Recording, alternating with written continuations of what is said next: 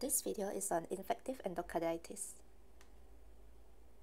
Infective endocarditis is also called as bacterial endocarditis. And there are three layers in the heart, which are the epicardium, myocardium, and endocardium. So this endocarditis mainly affects the endocardium, which is the inner lining of the heart. It is due to an infection caused by bacteria that enters the bloodstream and settle in the endocardium. Infective endocarditis is uncommon, but there are some people who have higher risks, which I will talk about later, they will have greater risk of having it. So if the patient presents with prolonged fever and there is a new murmur heard in the heart, it is endocarditis until it is proven otherwise. Any fever that lasts more than one week in those especially who have high risk, who have risk factors, must prompt for blood culture. So these are some of the risk factors of endocarditis. For example, the patient had past history of infective endocarditis or rheumatic fever. There are IV drug users, damaged or replaced valve before, having structural congenital heart diseases, and conditions like hypertrophic cardiomyopathy.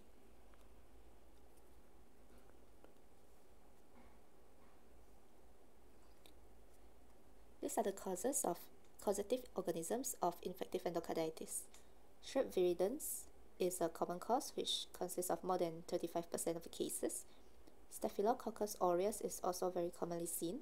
These are the two main types that are more common. Others include enterococci or HACEK bacteria, which is a group of bacteria which are rarely seen but they can also cause infective endocarditis.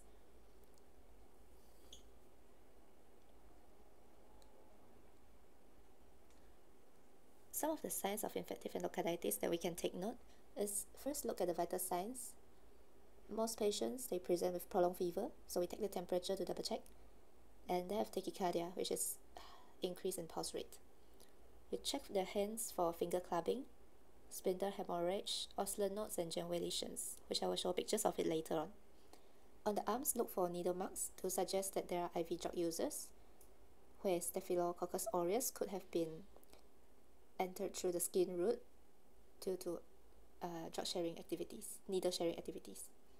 And look at the eyes using to look for Roth spots, cardiovascular system, auscultate for murmur, and sometimes on the abdomen you can look, you can notice uh, splenomegaly as well.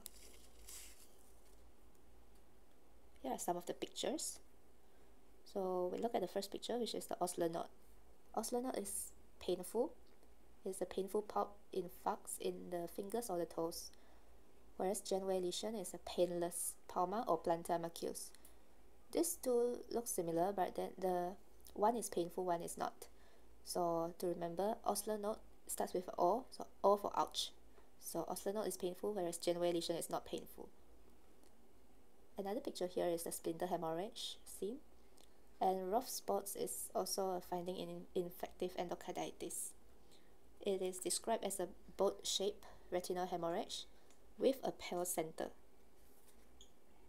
So we can look for these signs to suggest infective endocarditis. These are the investigations we have to do.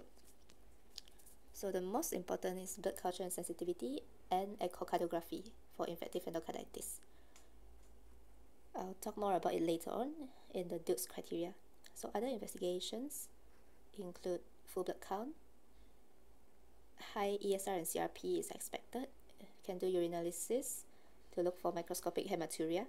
Chest X-ray look for cardiomegaly and ECG we might see some prolonged PR interval to suggest carditis. So for blood culture and sensitivity, we have to do three sets of blood cultures at different times from different sites at the peak of fever and 85 to 90%, which means most cases, are diagnosed from the first two sets of blood cultures, whereas there are around 10% which are culture negative. For echocardiogram, um, can look for some findings to suggest for infective endocarditis like vegetations, abscess, or others. I'll talk more about it later on. So this is a criteria that is very important in infective endocarditis diagnosis it's called the modified Duke's criteria. So it's divided into major criteria and minor criteria. For major criteria, it is uh, there are two major criteria, which is positive blood culture or positive echocardiogram.